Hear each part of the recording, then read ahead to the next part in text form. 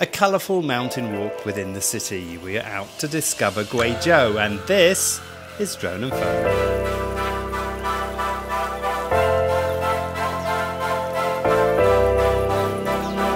Well, welcome to Guizhou and a brand new series of Drone and Phone. We got in very late last night, eh, Jack? Yeah, early at 2 o'clock in the morning.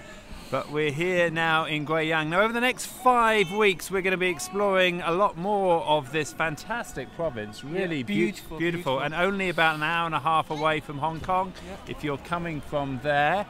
But we're starting right in the centre of the city, the provincial capital in Yeah, yeah, Guiyang. this is a Qianling Park. And it's a massive park, and we're expecting to get a great long hike in today. Yeah, yeah, five hours at least, I would say. five hours hiking right in the centre of the city. But before we start, I want to give a quick shout out to our clothing sponsors, Fjällräven for supplying the clothes today, also to Osprey for our backpacks, and to LifeStraw for their water bottles. Let's get going.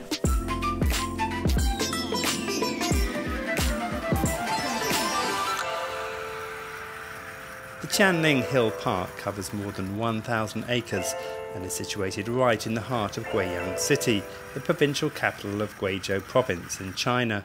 We entered from the south gate and immediately started to climb the first of a series of peaks along the eastern edge of the park. Jack here is already complaining about the stairs. There are ancient signs along the way in case you get lost, and plenty of opportunities to get contrasting pictures of the mountains and city. This is just a spectacular view. The park is full of surprises at every turn, from kite flyers on the ridges between the peaks to singers hiding deep in the forest. Descend down to the valleys and the activity increases. We saw dancing, tai chi, and swordplay to name a few. It's hard to believe that I am smack in the middle of one of China's biggest cities. This park is huge, and when you're in it, you feel very much like you're in the mountains. Let's have a look here. You can hear the sounds of the city below. In fact, people doing exercise right below us. There's a huge amount of music and dancing and all sorts of things going on. But in terms of the view, couldn't be any better.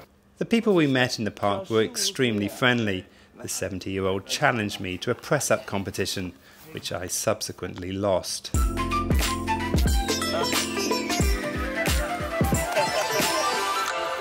what you must feel like, Jack, when you have a, a much older man completely thrashing you on a simple little bit of exercise.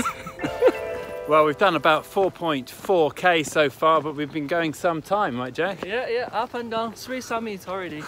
A lot of steps, but it's a real chance to see a slice of life in Guiyang. We're getting to see as we go down into the valleys all sorts of activities going on, and then up into the mountains like now.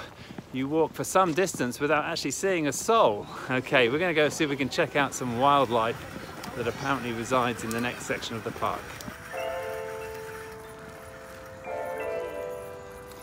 So we're just coming down to a zoo and Jack tells me there's tigers in there and I'm a little bit worried because this fence has been broken down and we're not sure whether we're about to enter the tiger enclosure or not. So uh, I'm letting Jack go first. The zoo is small and has a large collection of big mammals. It's also free to enter. From there, we visited a cave, a small lake, and then climbed a hill to the Hongfu Temple, which is well worth a quick visit. This area of the park is full of monkeys who will normally leave you alone as long as you don't take out food in front of them. So when we go hiking in Hong Kong, Jack always likes to buy these red bean buns from the local convenience store. But here he has found Real The- stuff. The, the best red bean bun that you could ever imagine. We're gonna buy another five or, or seven for the rest of the trip. Amazing. He's in paradise, he really is. Luckily, the monkeys failed to get Jack's buns, and we made it to the top of the final peak, where we hopped on a small cable car for a final ride back to the park entrance. Well, that's the end of this episode. Five peaks, about 10 kilometers. How's it been for you, Jack? Fantastic in this small park, but you got everything, everything there. Yeah. Really enjoy that. Now taking the cable car back down. Make sure you spend a day in Guiyang walking in the mountains in the city before you go out to the other mountains in Guizhou. We'll be doing that very soon. Yeah, full episodes coming.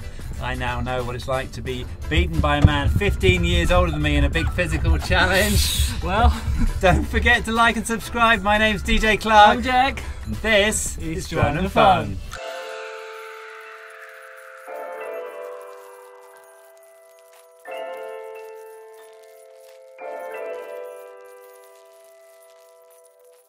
DJ is fascinated with our retirement life in China.